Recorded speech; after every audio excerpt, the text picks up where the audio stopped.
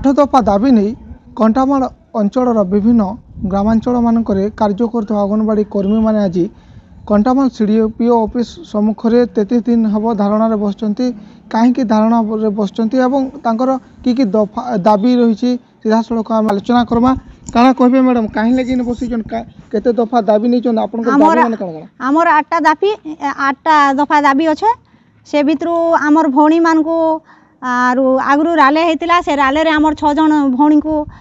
चाकरी बहिष्कृत करनिजुक्ति दि जाऊ आर आमको सरकारी मान्यता मिलू आम दरमा अठर हजार टाँह सहायिका मान को नौ हजार टाँह दि जाऊ मिनी अंगनवाड़ी को मुख्य अंगनवाड़ी कर्मी निजुक्ति दि ये मुख्य अंगनवाड़ी मान्यता मिलू पेनसन योजना आमर लागू कराऊ अठर हजार टाँह दरमा हूँ ଆହୁରି ଆମର ଯେନ୍ ହଟ୍ କୁକ୍ ମର୍ଣ୍ଣିଂ ସ୍ନାକ୍ସର ଟିକେ ମୂଲ୍ୟ ବୃଦ୍ଧି କରାଯାଉ ଆହୁରି ଅବସରକାଳୀନ ଭତ୍ତା ପାଞ୍ଚ ହଜାର ଟଙ୍କା ଦିଆଯାଉ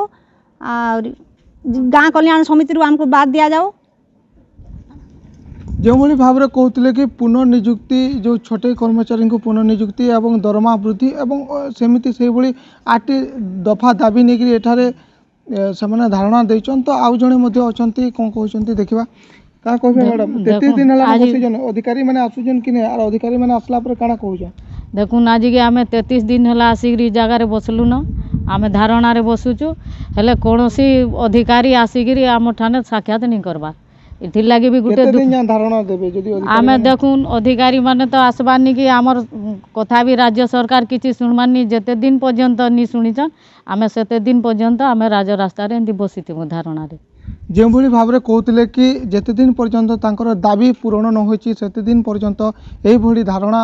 ଦେବେ ବୋଲି କହିଛନ୍ତି ତେବେ ଦେଖିବାକୁ ବାକି ରହିଲା ରାଜ୍ୟ ସରକାର ଏମାନଙ୍କ ଦାବି ପୂରଣ କରୁଛନ୍ତି ନା ପୁଣି ଆଉ ଅଙ୍ଗନବାଡ଼ି କର୍ମୀମାନଙ୍କର ଧାରଣା ତୀବ୍ରତର ହେଉଛି ତାହା ସମସ୍ତଙ୍କ ନଜର କଣ୍ଟାମାଲ ସିଡ଼ିପି ଅଫିସ୍ ସମ୍ମୁଖରୁ ରାଜେଶ କୁମାର ଠେଲା ଅର୍ଗସ୍ ନ୍ୟୁଜ୍